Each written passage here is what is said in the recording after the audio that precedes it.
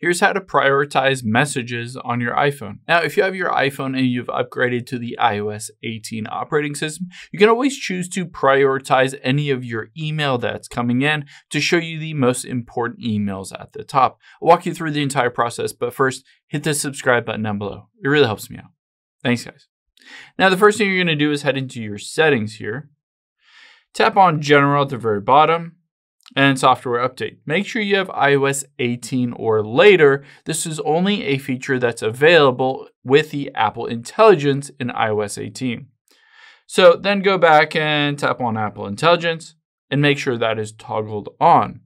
After you've done all that, you can just open up your Mail app here and you can see I have a couple of emails. I can always tap on the three dots at the very top right and I can choose to show priority. I can toggle it on or I can toggle it off depending on my preferences.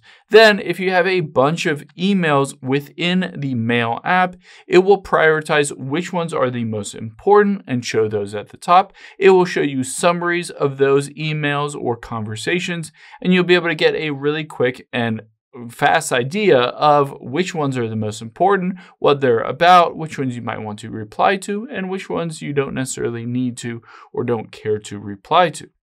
I hope this helps. If it did, hit the like button down below and leave a comment if you still have any questions. Thanks, guys.